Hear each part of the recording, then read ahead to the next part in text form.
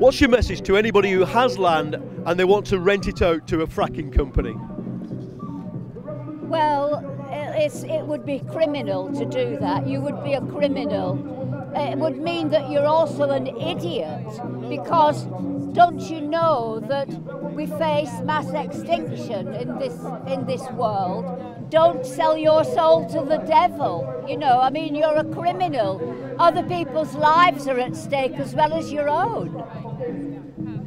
This site's been leased by a company heavily into fracking. The lease says the person who owns the land is already earning £15,000 a year and if they find shale gas here and pump it, they could earn more.